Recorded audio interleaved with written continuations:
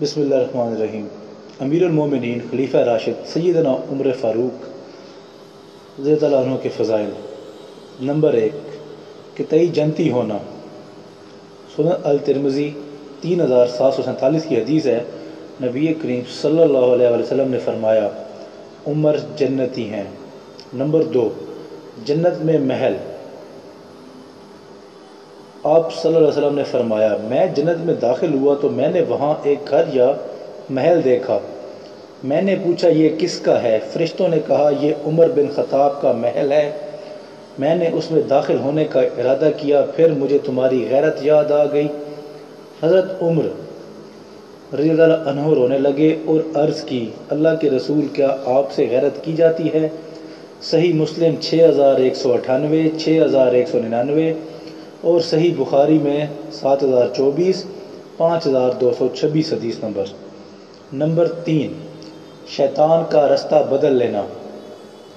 नबी करीम सल्लल्लाहु अलैहि वसल्लम ने फरमाया, इबन ख़ताब और कुछ कहूँ, उस ज़ात की कसम जिसके हाथ में मेरी जान है।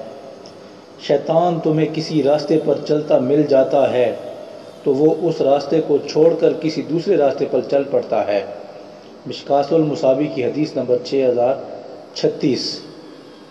ज़ुबान नंबर चार। ज़ुबान पे हक का जारी होना। इबन उम्र बयान करते हैं, नबी करीम सल्लल्लाहु अलैहि वसल्लम ने फरमाया, अल्लाह ने हक को उमर की ज़ुबान और उनके दिल पर जारी फरमा दिया है। मिशकातुलमसाबी की हदीस नंबर छः हज़ार बयालीस, सुनन अल तिरमज़ी की हदीस नंबर तीन हज़ार छः सौ बयासी।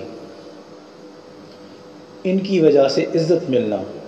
सैदना अब्दुल्ला बिन मसूद रज़ा फरमाते हैं कि जब उमर रज़ा ने इस्लाम कबूल कर लिया तो हम उस वक्त से बराबर इज़्ज़त में गालिब रहे।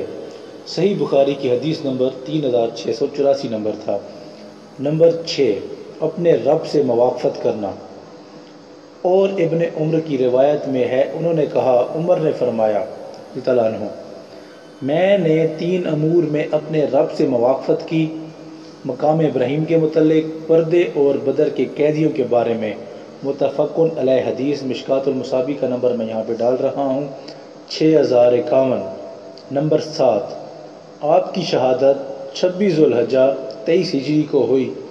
अलमुसन्फ़ इबन अबी शैबा, आज आपको शहीद हुए चौदह सौ इक्कीस साल हो गए हैं।